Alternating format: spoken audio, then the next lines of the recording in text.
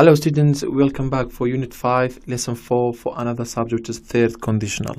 In the previous lessons we talk about first conditional, second conditional and in this one we talk about the third conditional. So let's see what is the third conditional. Uh, it, the third conditional it talks about the past. It's used to describe a situation that didn't happen and to imagine the result of, the, of this situation. So, so it's used for about for talking about past or describing a situation that didn't happen in the past or to imagine the result of this situation. We have the forms of the third conditional if at the beginning plus subject plus had or hadn't according to the subject plus pp or you can say the past participate and comma after comma subject and again would could or might if it is positive if it is uh, negative we use not.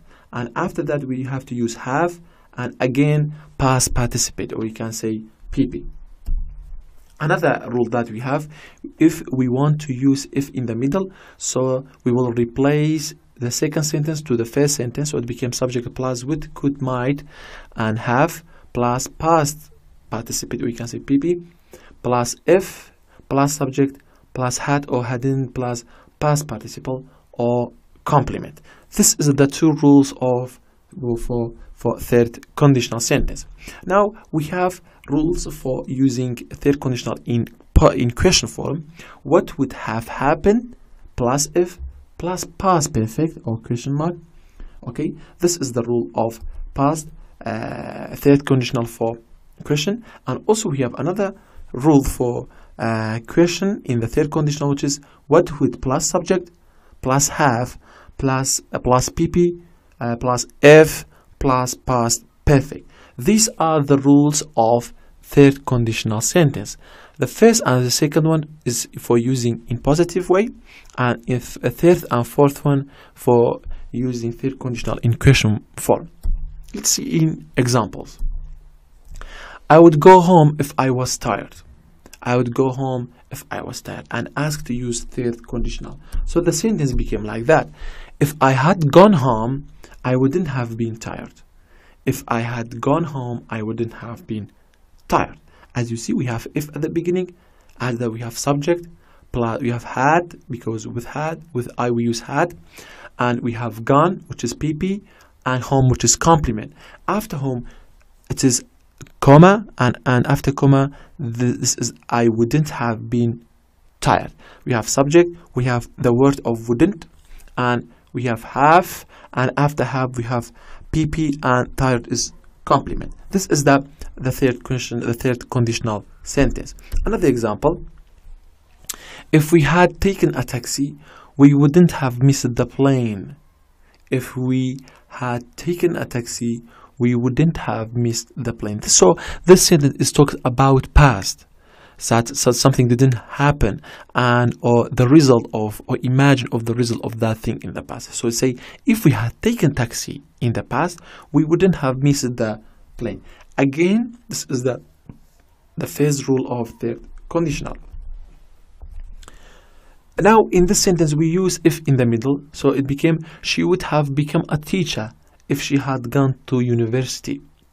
She would have become a teacher if she had gone to university. In this sentence, we use the second rule of third conditional, which is if in the middle. He would have been on time for the interview if he had left the house. He would have been on time for the interview if he had if he had left the house. When we use if in the middle, so we have to remove comma. We, do, we, don't, we don't need the comma in uh, using if in the middle. So he would have been on time for the interview if he had left the house. Another example, what would have happened if we hadn't studied?